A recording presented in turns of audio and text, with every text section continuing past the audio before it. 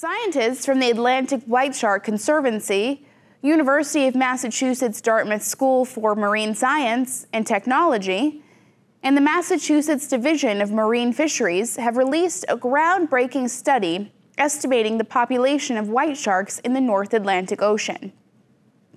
The study focused on Cape Cod as its newest known white shark hotspot. Using advanced mark recapture methods, researchers identified 393 individual white sharks from nearly 3,000 collected videos between 2015 and 2018. The study estimated that approximately 800 white sharks visited the area during that period, with peak numbers in late summer and early fall due to the warm temperatures. The research provides an important baseline for conservation efforts.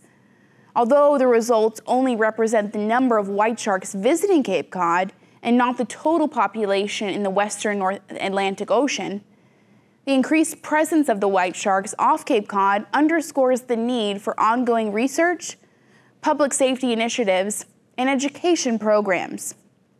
Dr. Greg Skomal who leads the Massachusetts Division of Marine Fisheries Shark Research Program, emphasized that it's important for the public to know that there are not hundreds of sharks swimming off beaches at all the same time.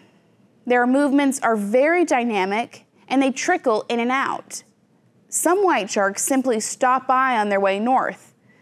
The Atlantic White Shark Conservancy expressed gratitude for the collaborative effort that advances knowledge of white sharks and aids conservation efforts.